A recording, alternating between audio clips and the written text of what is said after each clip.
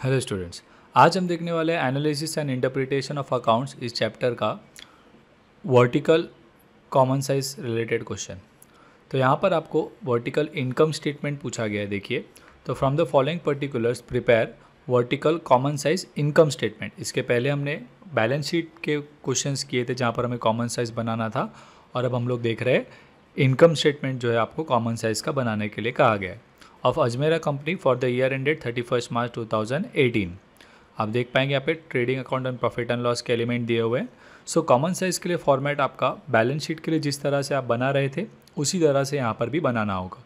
तो पहले हम लोग वर्टिकली अरेंज कर देंगे एलिमेंट्स को और उसके बाद हम परसेंटेज कैलकुलेट करेंगे। ठीक है? तो क्या क्या दिया हुआ है? पहले कौन सी चीज़ें, कौन सी हेडिंग में आएगी, वो डिस्कस कर लेते हैं। तो सबसे पहले ओपनिंग स्टॉक जो है वो आपका कौन सा इसमें आएगा? सी ओ जी एस में आता है राइट परचेजेस हम कॉस्ट ऑफ़ गुड सोल्ड में लिखते हैं सी ओ जी एस में ही। फिर आपको इंटरेस्ट ऑन डिबेंचर दिया गया है राइट तो ये आपका क्या होता है, जो हम लोग net profit before interest after interest लेते हैं राइट उसमें इंटरेस्ट माइनस करते हैं तो वहाँ पर आपको ये इंटरेस्ट लेस करना होगा। फिर आपको डिप्रिसिएशन ऑन फर्नीचर दिया गया है तो ये आपका क्या हो जाएगा एडमिनिस्ट्रेशन एक्सपेंस में आ जाएगा राइट उसके बाद डिप्रिसिएशन और मशीनरी दिया है। अब ये क्योंकि फैक्ट्री का एक्सपेंस है, इसीलिए हम इसको कॉस्ट ऑफ़ गुड सोल्ड में दिखाएँगे। फिर हमें एडमिनिस्ट्रेशन एक्सपेंसेस दिया हुआ है तो ये हमारा किधर आ जाएगा? ऑफ़िस एक्सपेंस एडमिनिस्ट्रेशन एक्सपेंस में सेलिंग एक्सपेंस सेलिंग एक्सपेंस में आएगा। कैरेज आउटवर्ड भी मुझे कहाँ लिखना होगा? सेलिंग एक्सपेंस में ही लिखना होगा, ठीक है? उसके बाद लॉस बाय फायर दिया हुआ है तो ये एक्चुअली हमारा नॉन ऑपरेटिंग एक्सपेंस है राइट लॉ फायर की वजह से अगर हमारा लॉस हो जाता है तो वो हमारा नॉर्मल एक्सपेंस नहीं है, वो एबनॉर्मल है राइट तो उसको हम लोग नॉन ऑपरेटिंग कहेंगे। वेजेस जो है, वो हमारा कहाँ आ जाएगा? सी ओ जी एस में। फिर आपको प्रोविज़न फॉर टैक्स दिया हुआ है तो लास्ट में हम प्रॉफिट बिफोर टैक्स फिर टैक्स माइनस करते हैं और प्रॉफिट आफ्टर टैक्स मिलता है तो वहाँ पर हमें ये टैक्स का अमाउंट लेना होगा। नेट प्रॉफिट को हमें कुछ भी करना नहीं होता कभी भी राइट फिर हम लोग देते हैं सेल्स तो ये हमारा स्टार्टिंग पॉइंट होगा राइट इनकम स्टेटमेंट में सबसे पहला आइटम क्या आता है आपका?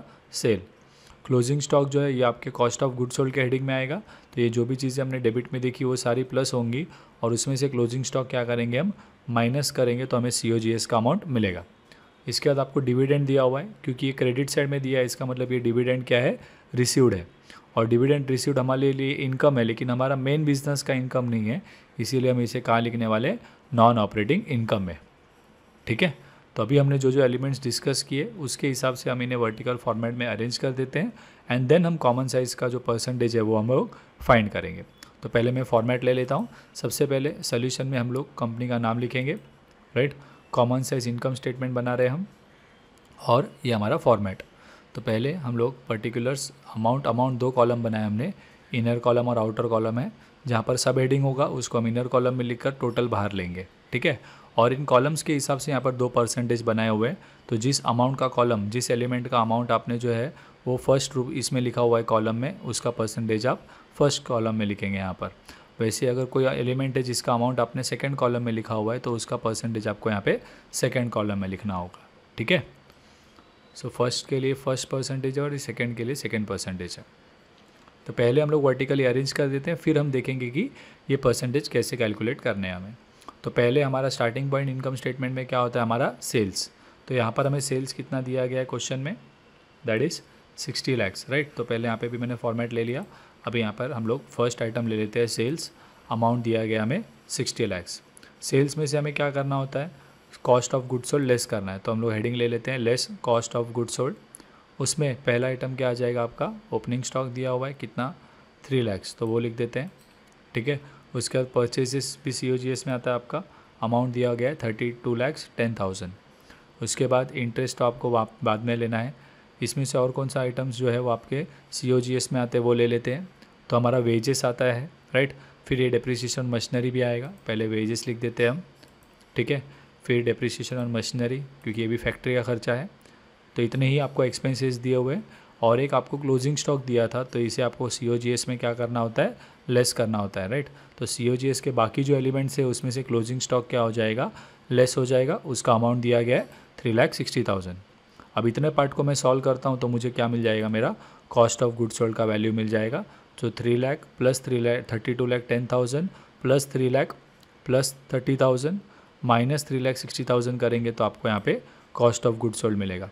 अब इस कॉस्ट ऑफ़ गुड सोल्ड में से हम सेल्स में से हम कॉस्ट ऑफ़ गुड सोल्ड जब माइनस करेंगे तो हमें क्या मिल जाता है? हमारा ग्रॉस प्रॉफिट मिल जाता है राइट तो अभी इन दोनों को माइनस करना है sixty lakh minus thirty four lakh eighty thousand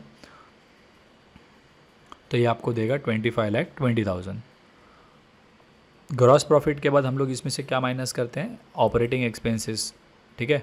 operating expenses तीन तरीके के हैं एडमिनिस्ट्रेशन एक्सपेंस सेलिंग एक्सपेंस और फाइनेंस एक्सपेंस तो यहाँ पर पहले मुझे लेना है एडमिनिस्ट्रेशन एक्सपेंस तो ऑफ़िस रिलेटेड कौन से कौन से खर्चे हमें दिए थे? तो एक तो था हमारा डिप्रिसिएशन ऑन फर्नीचर और डिप्रिस और एडमिनिस्ट्रेशन एक्सपेंस करके अलग से दिया हुआ है।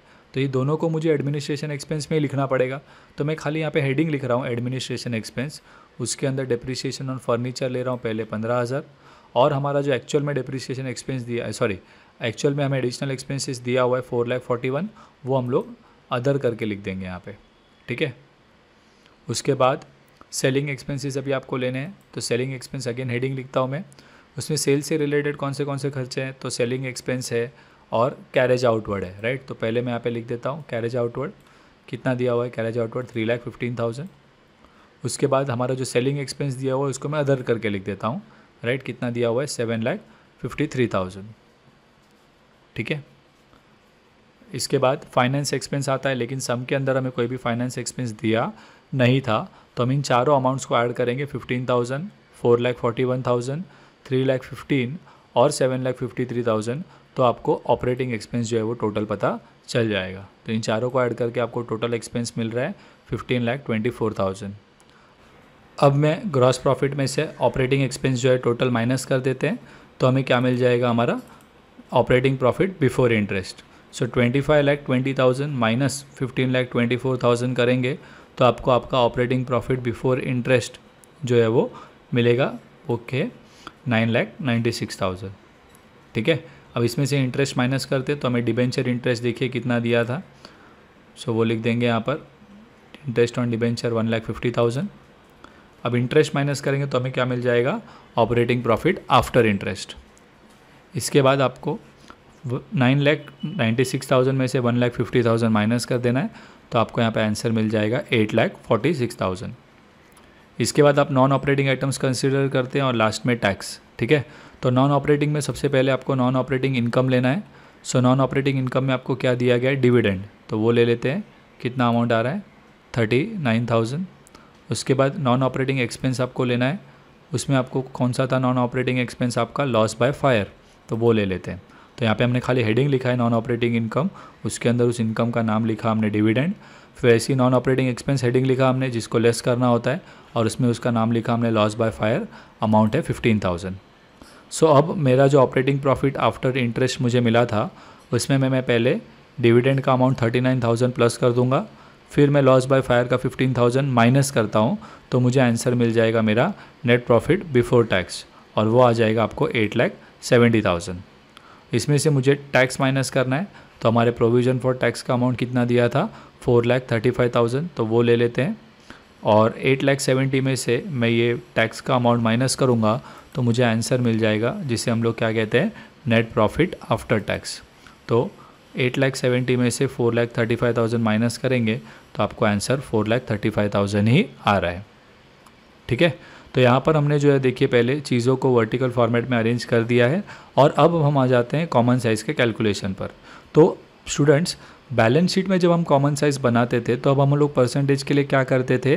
हम हमारे टोटल कैपिटल एम्प्लॉयड को राइट हंड्रेड कंसिडर करते थे राइट बट यहाँ पर आपको बैलेंस शीट नहीं है, ये तो आपका इनकम स्टेटमेंट है। तो उस केस में जो है, यहाँ पर बैलेंस शीट की तरह टोटल तो होता नहीं है। तो यहाँ पर हम लोग हंड्रेड किसको ले? तो यहाँ पर याद रखना है कि वर्टिकल इनकम स्टेटमेंट के लिए आप सेल्स के अमाउंट को, नेट सेल्स के अमाउंट को जो है वो हमेशा क्या लोगे? हंड्रेड लेंगे। और उसके हिसाब से बाकी सारे अमाउंट्स आपको जो है वो फाइंड करने होंगे। ठीक है? सो यहाँ पर मैं नेट सेल्स के अमाउंट को, यानी कि इस मेरा अमाउंट दिया हुआ है सिक्सटी लैख, उसको हंड्रेड ले लेता हूँ। और इसके हिसाब से हम लोग बाकी सारे अमाउंट्स क्या करेंगे? फाइंड करनेंगे अब ये फाइंड करने के लिए सेम फार्मूला जो हम बैलेंस शीट में यूज़ करते थे तो मैं आपको बता देता हूँ हमारा फार्मूला क्या था। तो इसके लिए आप अपना पहले कैल्सी ले लीजिए बिकॉज़ कैल्सी में ही आप कैलकुलेशन देखेंगे तो आपको एक ही स्टेप में सारे के सारे अमाउंट्स का आंसर जो है वो क्या होगा, मिल जाएगा। तो इसके लिए हम क्या करते हैं, जो हमारा अमाउंट है, जिसको हमने बेस लिया है, और उसको हम लोग परसेंटेज क्या लिख रहे हैं हंड्रेड लिख रहे हैं, उससे हमें स्टार्ट करना है। तो सबसे पहले हम क्या करेंगे hundred divided by sixty lakhs करेंगे। So hundred divided by sixty lakh into, right? जितना हम बोल रहे हैं, उतना ही प्रेस करेंगे आप कैलसी पर, hundred divided by sixty lakhs. एक बार इंटू प्रेस करना है, फिर आपको फ़र्स्ट वैल्यू जिसका परसेंटेज फाइंड करना है, वो आप पुट करेंगे, थ्री लैक्स, और फिर इक्वल टू प्रेस कीजिए तो आपको आंसर मिलेगा फाइव। मतलब ये थ्री लैख का जो परसेंटेज है, वो कितना रहने वाला है? फाइव रहेगा, ठीक है? अब कुछ भी इरेज किए बिना आप खाली क्या करेंगे, नेक्स्ट वैल्यू पुट करेंगे, thirty two lakh ten thousand कुछ भी प्रेस नहीं करना है। इंटू दबाना नहीं है। कुछ स्टूडेंट्स गलती से बाद में इंटू दबाते हैं, फिर वैल्यू डालते हैं और इक्वल टू डालते हैं तो आंसर चेंज हो जाएगा। आपको यहाँ पे पहले hundred divided by sixty lakhs into first वाला वैल्यू लेना है, जो फाइंड करना है, और इक्वल टू करेंगे तो आपको आंसर मिलेगा। फिर आपको खाली next value equal to next value equal to next value equal to इतना ही करना है। ठीक है? So thirty two lakh ten thousand अगर आप डालते हो इक्वल टू प्रेस करोगे तो आपको आंसर मिलेगा फिफ्टी थ्री पॉइंट फाइव ठीक है? फिर थ्री लैक्स डालोगे तो आंसर सेम ही आएगा, क्योंकि थ्री लैख का देखो आपने फाइव निकाला हुआ है ऑलरेडी तो थ्री लैख डालेंगे और फिर चेक करोगे तो आंसर क्या आएगा आपको? सेम आएगा फाइव ही आएगा। बट यहाँ पे थर्टी थाउज़ेंड के लिए मैंने बताया आपको थर्टी थाउज़ेंड के लिए हम लोग क्या बोल रहे हैं? ज़ीरो पॉइंट फाइव मिल रहा है आपको, ठीक है? तो वो यहाँ पे लिख दिया। उसके बाद थ्री लैख सिक्सटी थाउज़ेंड के लिए आपको क्या मिलेगा? सिक्स ठीक है? फिर इसी तरह से हम लोग करते जाएँगे। तो अभी आपको कंटिन्यू में ही thirty four lakh eighty thousand equal to press करना है तो आपको आंसर मिल जाएगा fifty eight twenty five lakh twenty thousand equal to press करेंगे आंसर मिलेगा आपको फोर्टी टू उसके बाद fifteen thousand equal to press कीजिए तो आपको आंसर मिलेगा ज़ीरो पॉइंट टू फाइव फिर four lakh forty one thousand equal to press कीजिए तो आपको आंसर आ जाएगा सेवन पॉइंट थ्री फाइव यहाँ पर कंटिन्यू करना है हमें। जहाँ पर हमने देखिए अमाउंट इनर कॉलम में लिखे हुए हैं, उसका परसेंटेज हम लोग पहले वाले परसेंटेज में लिख रहे हैं। जो अमाउंट आउटर कॉलम में उसका अमाउंट हम लोग बाहर के परसेंटेज वाले कॉलम में लिख रहे हैं, ठीक है? So three lakh fifteen thousand equal to press करेंगे आंसर मिलेगा five point two five seven lakh fifty three thousand equal to press करेंगे आंसर मिल जाएगा आपको twelve point five five fifteen lakh twenty four thousand equal to press कीजिए answer मिलेगा twenty five point four nine lakh ninety six thousand equal to press करेंगे answer मिल जाएगा आपको सिक्सटीन पॉइंट सिक्स। फिर one lakh fifty thousand equal to press करेंगे answer मिलेगा आपको टू पॉइंट फाइव। फिर eight lakh forty six thousand equal to press करेंगे आंसर मिल जाता है आपको fourteen point one zero.